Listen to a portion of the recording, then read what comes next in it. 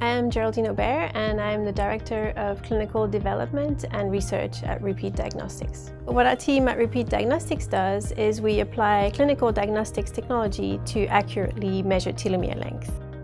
This technology was invented right here in Vancouver, Canada by a talented team of physicians and scientists working with Dr. Peter Lansdorp. And what our group and others uh, figured out is that certain diseases can be caused by defects in telomeres and that these diseases are also characterized by very short telomeres.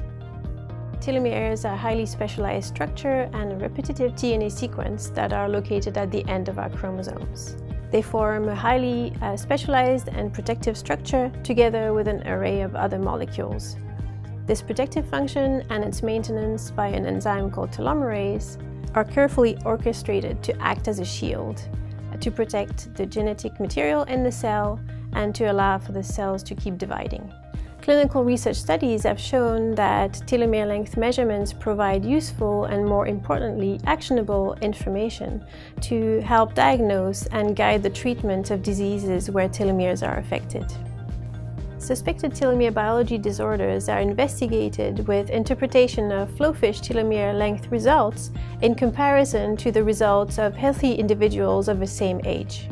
These disorders are also called short telomere syndromes or telomeropathies. In this specific context, the Flow FISH telomere length measurements are used together with other clinical information to help diagnose these individuals and these uh, patients may present with diseases that include dyskeratosis congenita, some forms of bone marrow failure, idiopathic pulmonary fibrosis or IPF, liver fibrosis, as well as some types of immunodeficiency.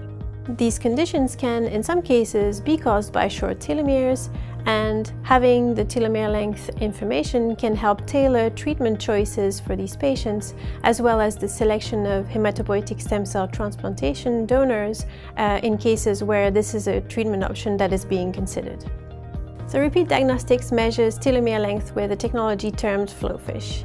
Uh, so what does that imply? First, uh, our talented certified medical laboratory technologists receive blood samples that are sent to us from physicians looking after patients all over the world.